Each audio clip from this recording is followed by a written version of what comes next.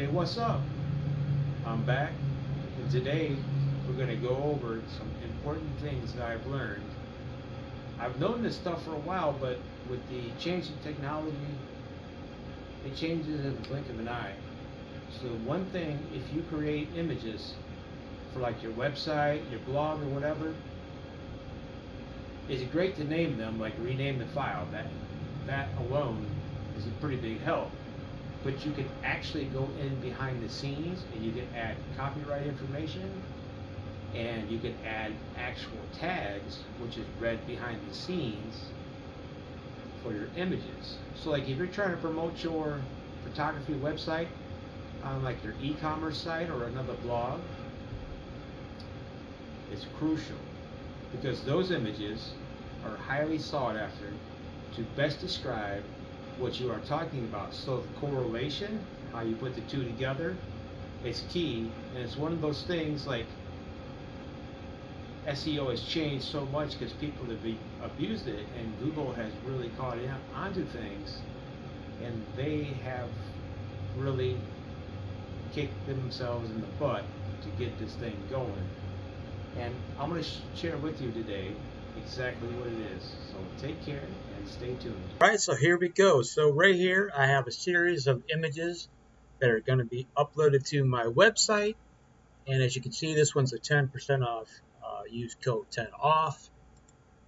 Stay in the know, subscribe to our newsletter and our Florida-based photographer, Seize the Days Photography. So we're going to use this one as an example. So it's great that when I save it, so if I want to save it, you know, come up to File. By the way, this is Photoshop CS6. I am running Windows 64-bit uh, uh, Windows 10. I love Windows 10. It runs smooth. All right, so we're going to say Save As. I'm going to pull it up. You can. I like PNG, but for lossless compression, working with uh, internet stuff, JPEG significantly reduces the file size. But right here, I can come in here and I can just, it's already highlighted in blue, so just start typing. Tropical Tranquility Store. All right, but uh, yeah, so we'll just uh, change it. That's how you do it right there. All right, and then to select your different file sizes, you come over here and you bring that arrow down where it says format. so we're going to say JPEG. All right, and then we do it. Boom, we hit save, but we're going to just slow our roll for a second. Uh, just do a little bit of uh, housekeeping here. Take out the accessories and 10% off.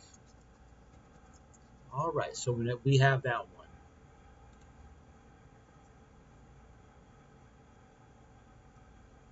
Actually, no. All right, so we're just going to cancel that, not even do it.